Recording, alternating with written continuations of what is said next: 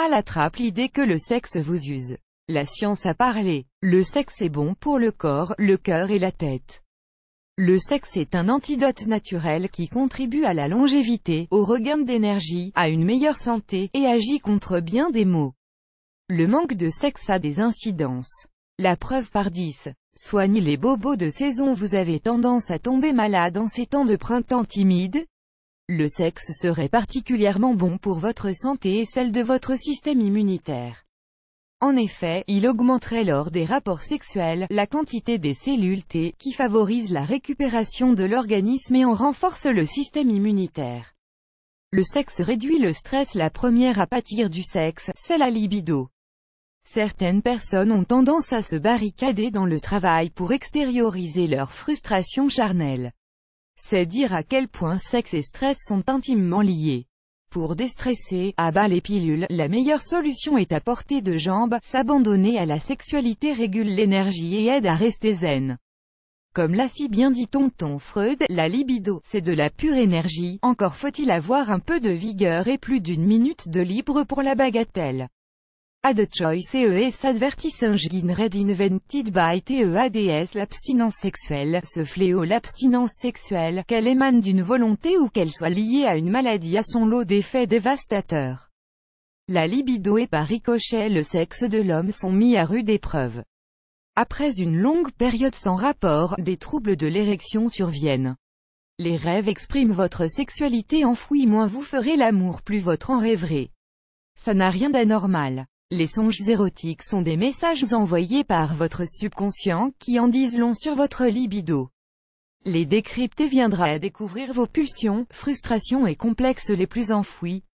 Rêver d'amour c'est en quelque sorte faire l'amour. Qu'attendez-vous pour sauter le pas, s'habituer à ne plus avoir envie comme pour l'abstinence sexuelle, moins vous êtes demandeur de sexe, plus votre libido sera aux abonnés absents et plus vous vous accoutumerez à ces passages à vide d'abord passagers qui deviendront ensuite la norme. Vous passerez de l'absence ponctuelle d'envie à la perte d'humeur libidineuse. On vous l'accorde, les libidos ne peuvent pas constamment être sur la même longueur d'onde, mais avouez qu'il est temps de songer à rétablir un peu d'ordre.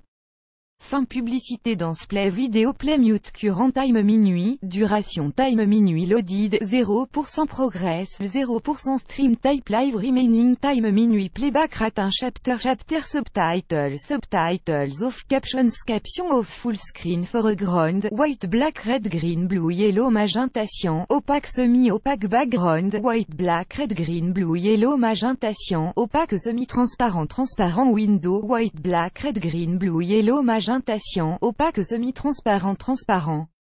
Font size 50%, 75%, 100%, 125%, 150%, 175%, 200%, 300%, 400% Text Edge Style Non-Write de Prest Uniform Drop Shadow Font Family Default Monospace Serif Proportional Serif Monospace sans Serif Proportional sans Serif Casual Script Small Cap Default Donne Vous vous détournerez de votre compagnon métro, boulot, libido au dodo Voilà ce à quoi se résume votre vie de couple. Puis encore, les enfants, le travail, les corvées domestiques, vous ont bel et bien détourné de votre compagnon. Vous vous sentez las de tout et nourrissez de nouvelles envies, que vous ne souhaitez plus partager avec votre compagnon. Votre attention envers lui s'est diluée avec le temps.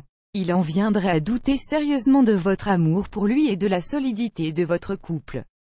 Sachez-le, la passion ne peut perdurer sans être alimentée. Ad choice ES advertising red invented by TEADS- plus grand que confiance est le mot-clé. Le manque de sexe induit irrémédiablement au manque de confiance en soi et inversement, une vie sexuelle épanouie booste l'estime de soi. Vous comprendrez mieux pourquoi certains hommes puisent leur assurance dans leur performance sexuelle.